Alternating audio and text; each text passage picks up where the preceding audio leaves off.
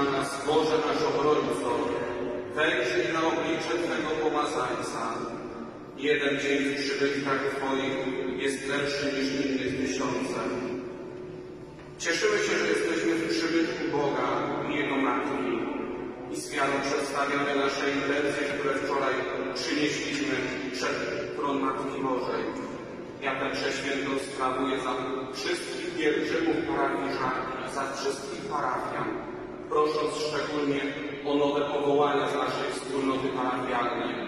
Proszę też szczególnie we wszystkich intencjach, w których pielgrzymowaliśmy na to miejsce.